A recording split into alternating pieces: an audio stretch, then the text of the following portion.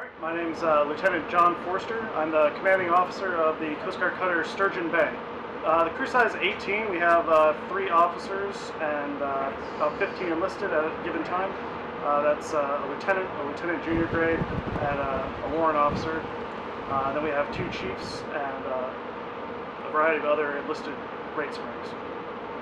So currently the Sturgeon Bay is engaged in Operation Reliable Energy for Northeast Winters, or OPRENEW. It is the Coast Guard's region-wide effort to ensure Northeast communities have the security, supplies, energy, and emergency resources they need throughout the winter. Uh, the historic temperatures that we're experiencing right now has produced uh, ice as thick as uh, one, one foot in some areas.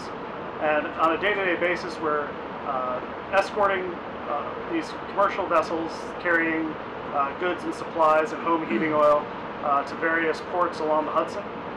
And we're helping assist them if they get uh, set in the ice and are unable to move at all. And we're also clearing the path for them uh, along this waterway as they're trying to trans up and down the river. Most days we've been uh, getting underway uh, just after dawn and then pulling back in uh, right around sunset. So we're uh, supposed to only operate normally during daylight hours, and that way we reduce some of the risk of operating the ice by not doing it at night. Uh, oftentimes we uh, work for 12 plus hours even after we've pulled in, uh, just so that we can uh, get everything squared away on the ship before uh, securing for the day. So we're breaking these track lines along the Hudson in order to uh, allow commerce and uh, barges that are pushing ahead, are being pushed ahead by commercial tugs, uh, and, as well as deep draft vessels that are uh, moving resources and supplies uh, up and down the Hudson River.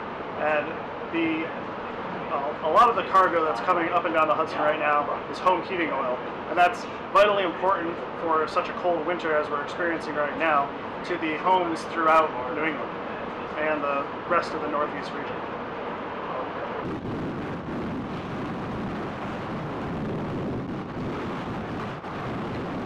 I'm Chief Boatswain's Mate Michael Hall, stationed on the Coast Guard cutter Sturgeon Bay, home ported in beautiful Bayonne, New Jersey. Been on board for about a year and a half. Uh, the past year, we just went through a year-long dry docks and not a lot of underway time. It's my first uh, actual ice season underway.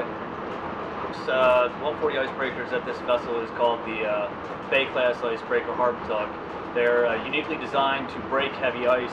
Uh, we can break up to 28 inches continuous steaming, three feet backing and ramming, and there are certain aspects about the hull design, hull design that make this uh, possible. We have heavier plating on the bow and along the keel. The bow shape is a bit more rounded than most vessels to allow us the ice to kind of slide underneath. Uh, we also have frames of the ship that strengthen the hull uh, a little bit closer together than most ships.